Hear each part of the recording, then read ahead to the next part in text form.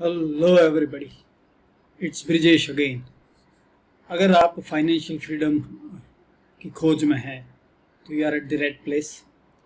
अभी मैं आपको अच्छे से फाइनेंशियल फ्रीडम आप कैसे अचीव कर कर पाए, उसके बारे में छोटी छोटी चीज़ें बताता हूँ इस चैनल पे और मेरे पॉडकास्ट में. I am Brijesh Parikh father of two lovely kids husband to a loving woman. I am an edupreneur now turned into a well coach. And I am on a mission to help 1 lakh families like yours to live a financially furry free life and achieve financial freedom during their life. तो मेरे इसी mission के तहत ये जो अगला मैं episode record करने जा रहा हूँ उसमें मैं आपका तहे दिल से स्वागत करता हूँ आज हम बात करने वाले हैं eleven things to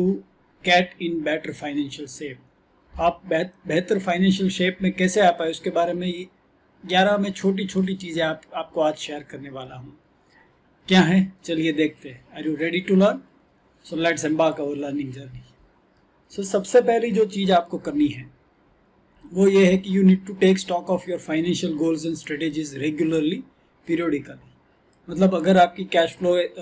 आप सैलरीड पर्सन है और आपकी कैश फ्लो में चेंज साल में एक बार आता है तो आपको साल में एक बार मिनिमम आपको अपने फाइनेंशियल गोल्स और अपनी जो फाइनेंशियल स्ट्रेटेजीज है इंश्योरेंस है इन्वेस्टमेंट चल रहा है आपके म्यूचुअल फंड इन्वेस्टमेंट्स है तो वो सारी चीज़ों को आपको साल में एक बार मिनिमम आपको उसका रिव्यू करना चाहिए और आपको देखना चाहिए कि क्या चीज़ें ठीक हो रही है और क्या चीज़ें आपको बेहतर करने की आवश्यकता है। सो रेगुलर पीरियोडिकली आपको उसको रिव्यू करना और अपनी फाइनेंशियल गोल्स और स्ट्रेटेजीज को रिवाइज करना बहुत ही इंपॉर्टेंट है if you want to be financially fit दूसरा सबसे बड़ा एस्पेक्ट ये है कि ट्रैक योर नेटवर्थ राइट मैं कई बार लोगों से ये देखता हूँ कि लोग ये समझते हैं कि उनका जो इनकम है वो कैसे बढ़ाए और इनकम को ही वो अपनी वेल्थ समझते हैं। मतलब अगर आय अच्छी आ रही है सैलरी अच्छी आ रही है प्रॉफिट अच्छा हो रहा है तो वो अच्छा कर रहे फाइनेंशियली ये सोच के चलते हैं। हालाँकि जो पैसे आप कमाते हैं मतलब सैलरी जो आती है प्रॉफिट जो आता है, उसके बाद आप खर्च भी करते हो तो मतलब वो आप खर्च कर जाते हो तो वो पैसे आपके हाथ से निकल जाते हैं राइट तो आप वेल्दी हो मतलब आप रिच हो रहे हो या तो आप वेल्दी हो राइट right? उसको आप कैसे तय करोगे तो उसके लिए जो ट्रू इंडिकेटर है आपका सही इंडिकेटर है वो है आपका नेटवर्थ राइट right? तो net worth what is net worth तो सिंपलेस्ट मतलब आपकी एसेट्स मतलब आप क्या ओन करते हो और आपकी लाइबिलिटीज मतलब आप क्या ओ करते हो सो so, आपकी एसेट्स में से आपकी लाइबिलिटीज को बात करके जो आप बचता है वो आपका नेटवर्थ है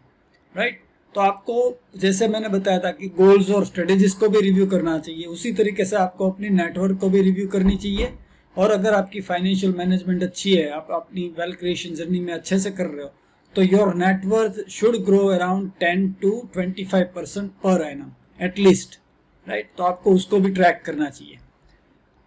तीसरा जो आप कर सकते हो चीज़, वो ये होती है कि you need to create an emergency fund right कुछ भी इमरजेंसी आ जाती है, जैसे आपकी कार का एक्सीडेंट हो गया और you need to repair it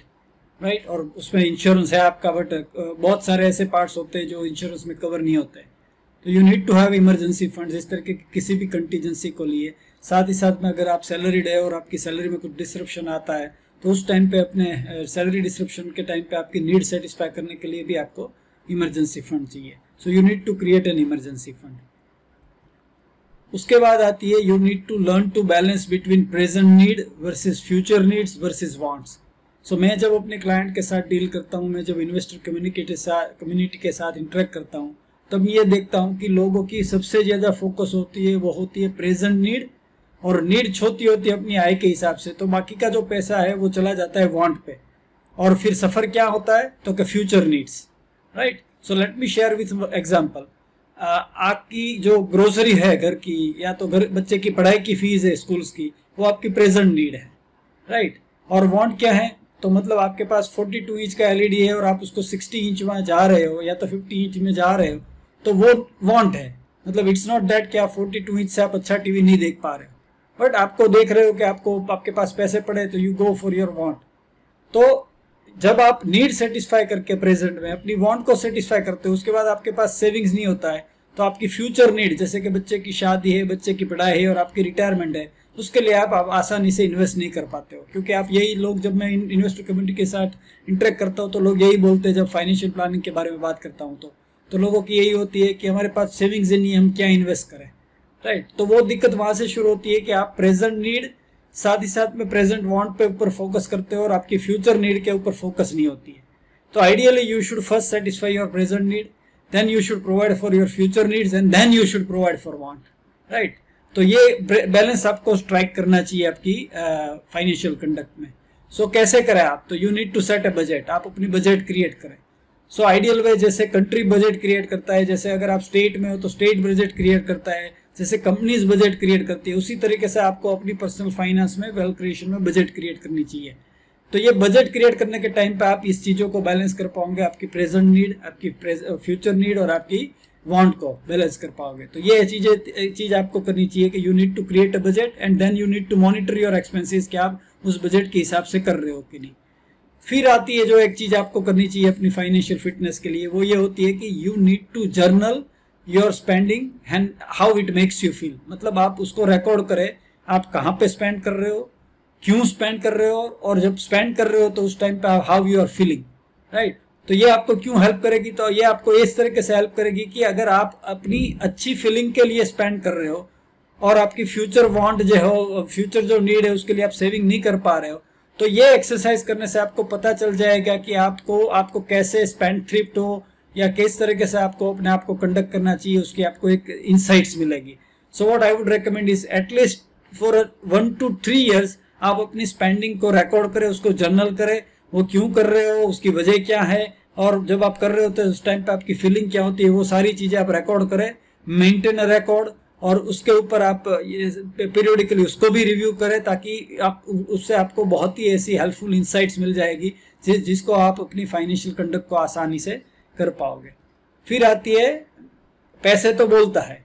money talks पैसा तो बोलता है बट मनी के बारे में बात करने में हम इंडियंस और नॉर्मली वर्ल्ड ओवर सब लोग उसको टैबू बोला जाता है। सो so, लोग पैसे के बारे में बात नहीं कर रहे so you need to talk about money right so so, आप एक आप मेंटर को भी हायर कर सकते हो जो आपको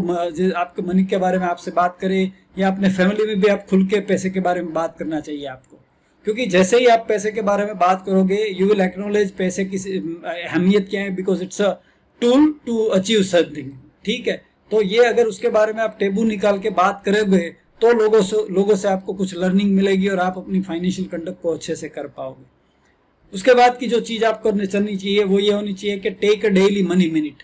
right तो एक एक दिन में एक मिनट के लिए आप पैसे के बारे में सोचिए और आप अपनी फाइनेंशियल कंडक्ट के बारे में सोचिए और उसके लिए आज के दिन की आप स्ट्रेटेजी क्रिएट करें. So it won't take more than one minute अगर आप ये एक मिनट देंगे तो आपको आज के दिन में आप कहाँ पे कैसे पैसे खर्च करने वाले हो उसके बारे में आप अच्छे से तय कर पाओगे. So create habit of taking a daily money minute ये बहुत ही इंपॉर्टेंट चीज़ आप कर सकते हो.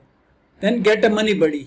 right तो एक बड़ी ले लीजिए, जिसको हमारी लैंग्वेज में अकाउंटेबली पार्टनर बोला जाता है। तो मतलब आप जो भी फाइनेंशियल स्ट्रेटेजी आप जो भी फाइनेंशियल गोल्स आप कमिट करते हो तो declare it with your buddy और बडी को अकाउंटेबिलिटी पार्टनर बना लीजिए, ताकि वो आपको मॉनिटर करता रहे कि जो आपने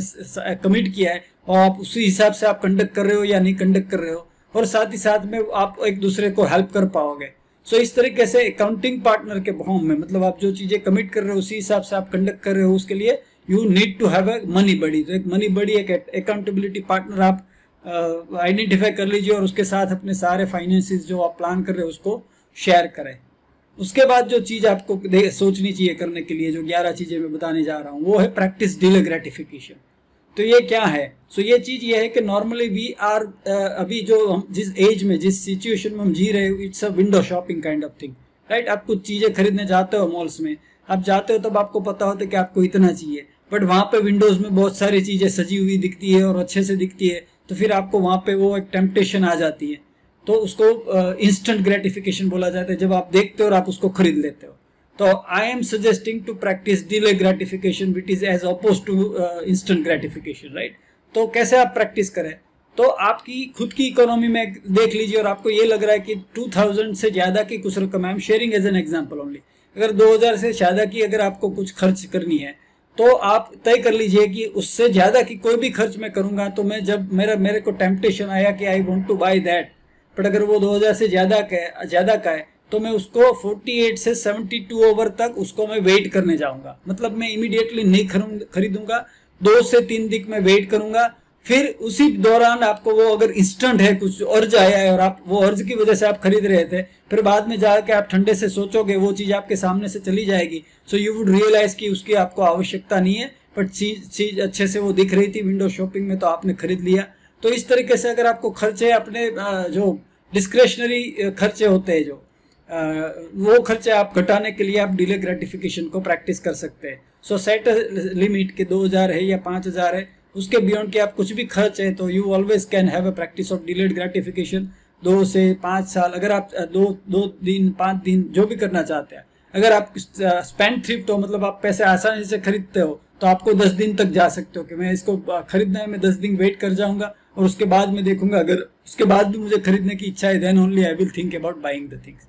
right जब आपको रेज मिलता है मतलब जब आपका इंक्रीमेंट आता है तो उसी के हिसाब से आप अपनी रिटायरमेंट सेविंग को भी रेज करें। यह बहुत ही ज़रूरी है। नॉर्मली क्या होता है कि रिटायरमेंट सेविंग उसी हिसाब से चली जाती है और आप उसमें कुछ चेंज नहीं करते हो। तो जैसे आपकी रेज होती है आप रिटायरमेंट सेविंग्स को भी रेज करें और अपने सारे फाइनेंशियल गोल्स के लिए भी जो आपकी सेविंग चल रही है वो सारी सेविंग्स में आप उसी के हिसाब से प्रोपोर्शनली आपको रेज करनी चाहिए। यह बहुत ही इंपॉर्टेंट थिंग्स चीज़ है जो आपको करना चाहिए। सो so,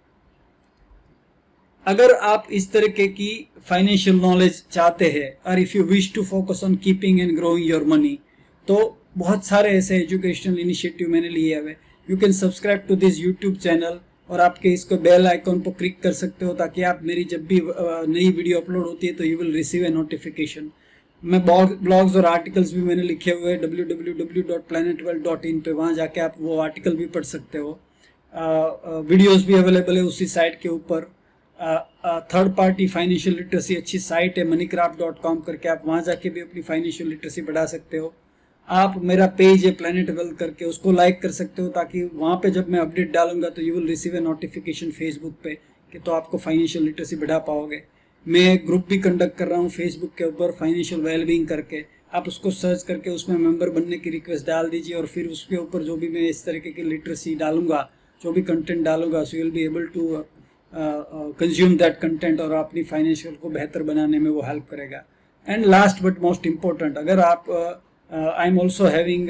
WhatsApp group जो personal financial literacy broadcast group रखता हूँ मैं। तो आप nine three two eight one nine double zero double two जो नंबर मेरे स्लाइड में नीचे दिए हुए उसके ऊपर उसको आप स्टोर करें प्लानट वेल के नाम से। और फिर उसके ऊपर एडमी और आपका नाम लिख के मुझे भेज दीजिए तो मैं आपको ग्रुप में डाल दूँगा। सो so, आप अपनी फाइनेंशियल लिटरेसी बढ़ाते रहिए। जिस तरीके से मैंने इस वीडियो में ग्यारह चीज़ें बताई उस चीज़ों को यूज़ करें और अपनी फाइनेंशियल फिटनेस अचीव करें अपनी फाइनेंशियल फ्रीडम अचीव करें। God bless may god shower abundant wealth to you and thank you for watching this video